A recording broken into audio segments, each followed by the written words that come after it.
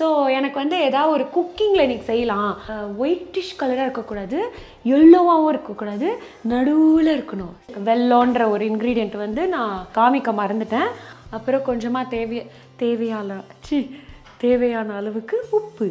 Taste பார்க்கலாம். Okay இருங்க. உயிர் பயம்.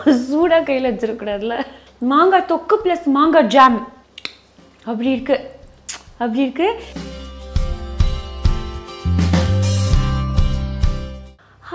வணக்கம் மை டியர் டார்லிங் செல்லக்குட்டீஸ். அதாவது என்னன்னா today why Sruthi this getup this is Onam getup ஆமாம் நான் தரி பை ஒரு பிராண்ட் திறந்தது தாங்க. ஃபுல்லாக புடவையிலே திரிகிறேன் நான் டிசைன் பண்ணுறது நான் கட்டி ஆகணும்னு இப்போல்லாம் ஒன்லி புடவை ஒன்லி இதை குடும்ப குத்துழைக்கணும் உன்னை பார்த்தா கண்ணுள்ள காதல் ஏறுமா? ரெக்க முளைச்சு ராக்கெட்டா மாறி போகுமா? நான் நான் நமக்குள்ள கேப் வேணுமா? ஆசை வந்து ஹை ஸ்பீடில் அலைப்பாயுமா? இது ஆட்டோமேட்டட் லைஃப் நம்ம பண்ணலாமா பைபு ஹே மாலை நேரம் காஃபி ஷாப் போகலாமா? யார் அந்த புள்ள? Brother don't get distracted brother anyway நான் ஏன் இந்த கெட்டப்பில் இருக்கேன்னா ஓணம் வேற வருது. அண்ட் ஓணம் சாதியா பற்றி நான் கேள்விப்பட்டிருக்கேன். நிறைய நம்ம ஊர் இலை சாப்பாடு மாதிரி நிறைய போடுவாங்க.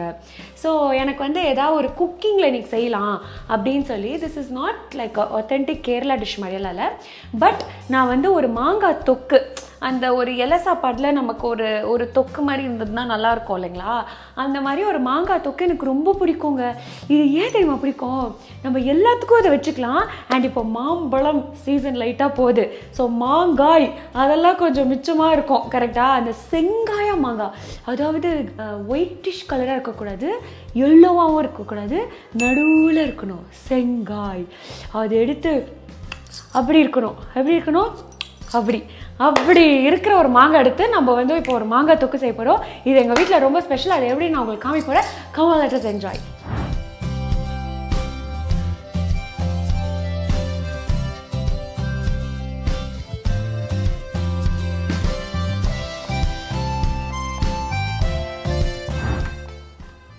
ஸோ ஃபர்ஸ்ட் அடுப்பை பற்ற வைக்கிறோம் அதுக்கப்புறம் இஸ் தி நல்ல எண்ணெய். கொஞ்சம் தாராளமாக நல்லெண்ணெய் ஊற்றிக்கணும் ஒய் பிகாஸ் இது வந்து ஊர்க்காக்கோ தொக்குக்கோ நடுவில். இல்ல புரியல. இப்போ ஒரு மாங்காய் தொக்கு செய்ய போகிறோம் ஊர்க்காக்கோ தொக்குக்கோ நடுவில். கொஞ்சம் அது எண்ணெயில் லைட்டாக காயிட்டோம் ஓகே இதெல்லாம் எங்களுக்கு தெரியும். நீ மூடிக்கிட்டு அடுத்த ஸ்டெப்பு சொல்லுன்னு உங்கள் மைண்ட் வாய்ஸ் சொல்லுது.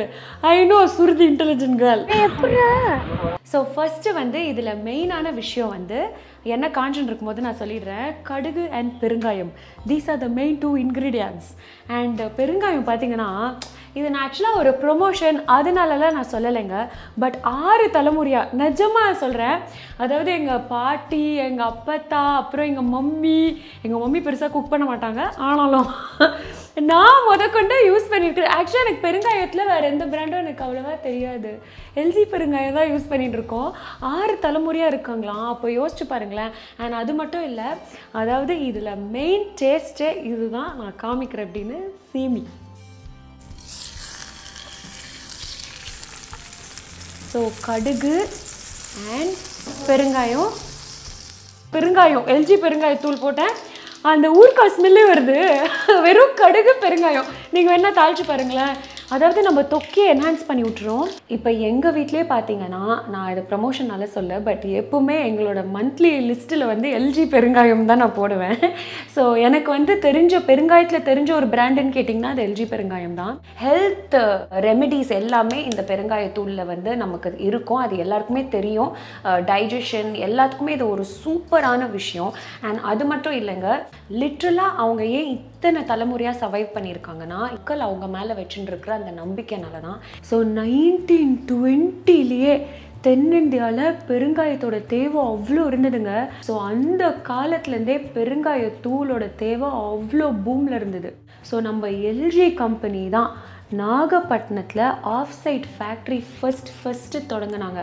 சும்மா ஒரு ரெண்டு மூணு வருஷம்லாம் இல்லைங்க. It started in eighteen ninety four இன்னைய தேதி வரைய தரமான பெருங்காயம் கொடுத்துன்னு வராங்க நம்ம எல்ஜி கம்பெனி அதனால தான் இந்த கம்பெனி மேலே நம்ம மக்களுக்கு அவ்வளோ நம்பிக்கை. இவங்க வந்து லிட்ரலாக அவங்களோட இந்த இன்க்ரீடியன்ஸ் இருக்குல்ல அதோட தரம் அதாவது அதோட குவாலிட்டி செக் அண்ட் இதுக்காகவே அவங்களோட கிராண்ட்சன் எல்ஜி ஸ்டர் பீமல் மர்ச்சண்டே இவர் வந்து கசகஸ்தான் வரைய போய் லிட்ரலாக இதோட தரத்துக்காக அவ்வளோ தூரம் ட்ராவல் பண்ணி குவாலிட்டி டெஸ்ட் பண்ணுறாங்க பியூரஸ்ட் ஃபர்மான பெருங்காயம் பிசுறு அண்ட் மைதாவை வந்து நம்ம சாப்பிட்ற மாதிரி அதை வந்து அவங்க செஞ்சு நமக்கு வந்து அவங்க கேட்டர் பண்ணுறாங்க ஸோ ஆல் அண்ட் ஆல் இது வந்து ஒரு சூப்பரான விஷயம். கட்டி பெருங்காயம் அண்ட் தூள் பெருங்காயம். இப்போ எங்கள் வீட்டிலலாம் பார்த்தீங்கன்னா இந்த கட்டி பெருங்காயம் இருக்கு இல்லைங்களா?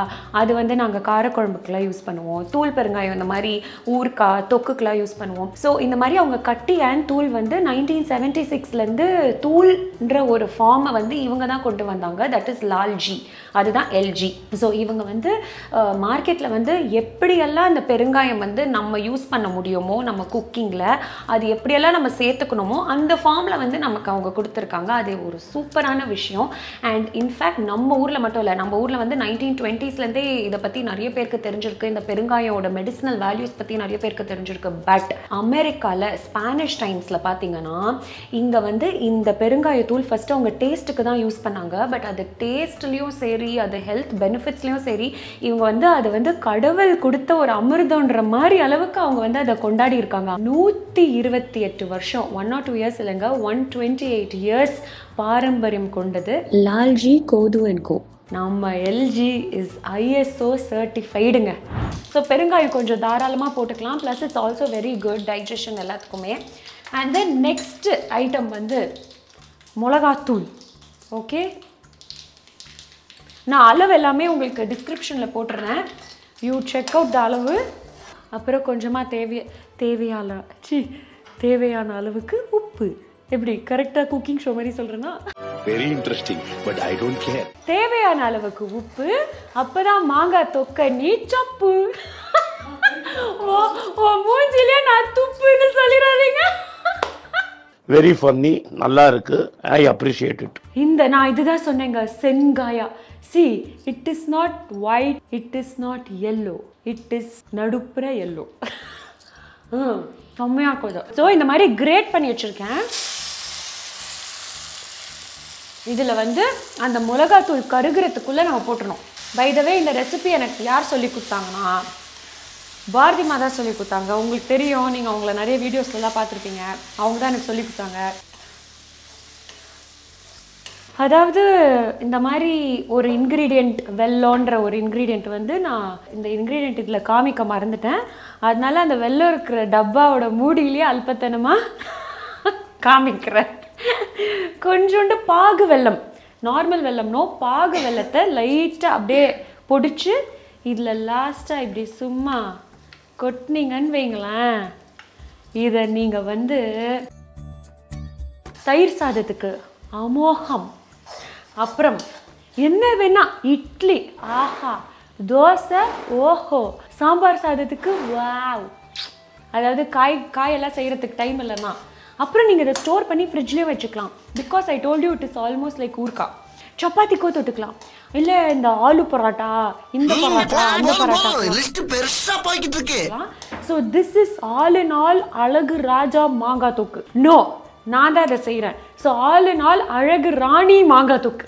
ஸோ உங்கள்லேருந்து என்ன மாதிரியே யாருக்கெல்லாம் மாங்காய் தொக்கு? அதுவும் சாதா மாங்காய் தொக்குல. அந்த மாதிரி மாங்காய் பிடிக்குமோ? கீழே கமெண்ட் செக்ஷனில் கமெண்ட் பண்ணுங்கள் நம்ம ரெண்டு பேரும் ஹைஃபை அடிச்சுக்கலாம் ஓகே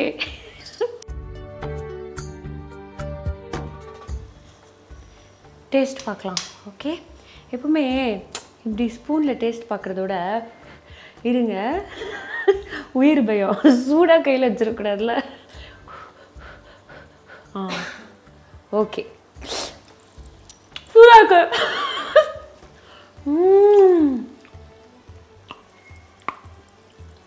அப்படியே மாங்காய் தொக்கு ப்ளஸ் மாங்காய் ஜாம் அப்படி இருக்குது அப்படி இருக்குது நீங்கள் செஞ்சு பார்த்துட்டு எப்படி இருக்குன்னு சொல்லுங்கள் திஸ் இஸ் மை ஃபேவரட் இதுவும் தயிர் சாதமோ தாளிச்சு விட்டு அந்த தள தள தயிர் சாதமோ கொடுங்க.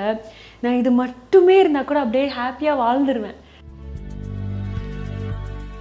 ஓகே மக்களே ஸோ சி யூ நெக்ஸ்ட் vlogல வித் அனதர் ஒரு நியூ கான்செப்ட் நெக்ஸ்ட் vlogல என்ன பண்ண போகிறோம்னு பாருங்கள் அதை வந்து நம்ம கேட்ச் பண்ணலாம் பண்ணலாம் ஃபன் பண்ணலாம். அதில் நான் குக் பண்ண போகிறேனா இல்லை நான் சாப்பிட போகிறேனா இல்லை வேறு எதாவது செய்ய போகிறேனான்னு தெரில நம்ம பார்க்கலாம் ஒன்றா ஃபன் பண்ணுவோம் ஜாலியாக இருப்போம். பாய் பாய்